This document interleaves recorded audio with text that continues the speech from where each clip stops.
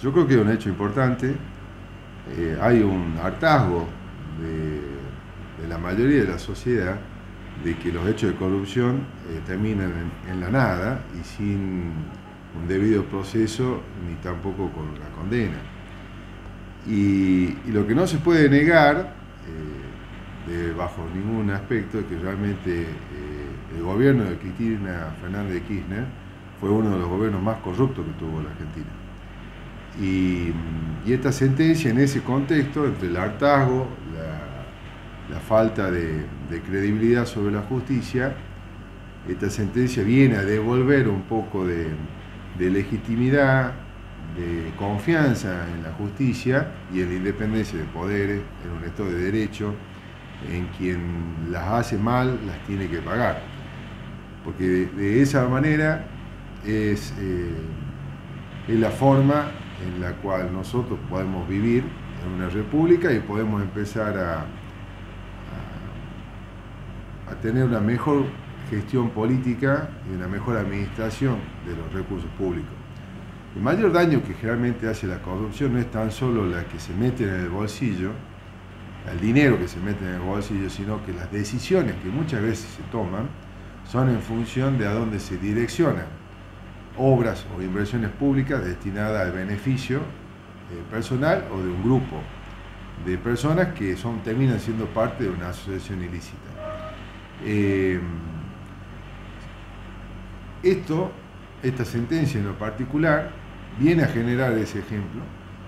Eh, en términos sociales podríamos decir que mm, necesitamos de alguna manera estas esta medidas de pena y condena porque si no sería como que algún automovilista cruce un semáforo en rojo, en rojo y no sea multado, ni sea secuestrado su vehículo, ni una inhabilitación para seguir manejando, o incluso se produjo un accidente. Entonces realmente esto eh, es lo que realmente necesita el, país y que realmente atraviesa en el proceso todo, de todos los colores políticos. Necesitamos una mejor calidad de gobierno. Ahora, en términos políticos, esto es un golpe muy duro para el peronismo, para el Frente de Todos sobre todo.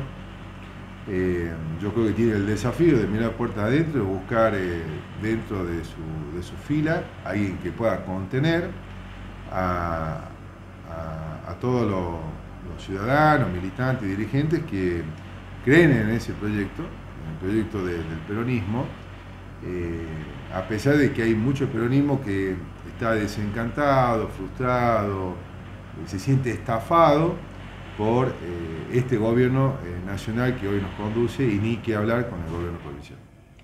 Diputado, en otro orden de cosas, eh, sigue recorriendo el interior, ha estado en el departamento Belén. ¿qué, se trajo de esta visita desde, el interior? Y mira, es un, son emociones contrapuestas muy enfrentadas, te digo, las emociones, porque llegamos y, bueno, la gente hace catarse con nosotros, se descarga, se desahoga, eh, y se desahoga con, la falta de respuesta, con la falta de capacidad, con la falta de gestión, y, nos termina despidiendo con esperanza, con confianza, con expectativa de que eh, podamos lograr a través de nuestro trabajo, a través de nuestra vocación de servicio, en eso me refiero a mí y a, mi equipo y, al gran universo de, personas que, vamos a conformar ese proyecto político para, gobernar Catamarca a partir de 2023, eh, nos genera muchísimos compromisos, muchas responsabilidades, pero muchas ganas también. Eh, y te digo particularmente que muchos de esos problemas tienen solución. Me parece que acá no hay proyecto político.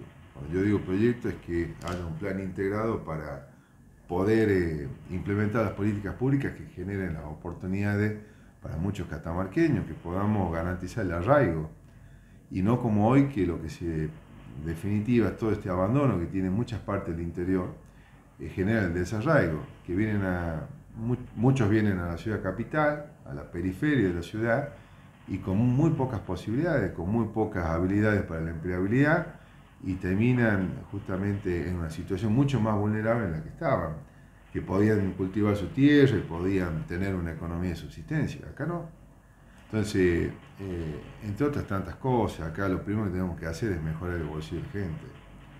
Nosotros hemos propuesto para el presupuesto 2023 eh, la asignación familiar por hijo, que sea un espejo del régimen nacional. Pasaría eh, un, empleado de la administración pública, tanto provincial o municipal, que no supere su ingreso familiar de 280 mil pesos, estaría recibiendo en vez de una asignación que hoy en la provincia paga 500 pesos, que no alcanza ni para dos litros de leche, pasar a cobrar 11.500 pesos.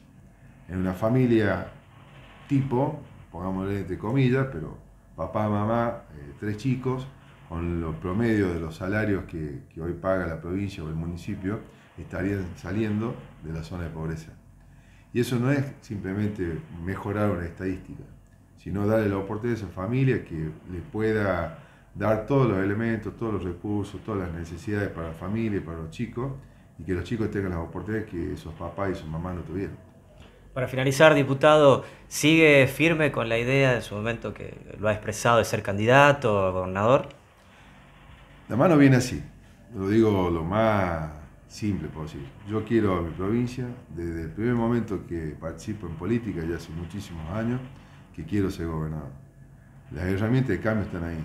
Conozco mi provincia de punta a punta, conozco a mi gente, sé de la potencialidad que tienen los catamarqueños y realmente tengo la necesidad de, ser gobernador para poder trabajar a efectos de que tengamos la provincia que, sueño, que anhelo, eh, que sea sostenible desde el punto de vista económico, que cada catamarqueño tenga la oportunidad de poder progresar, de poder desarrollarse, de darle previsibilidad y garantía a su familia y realmente podamos tener paz y tranquilidad y garantizar el bienestar social.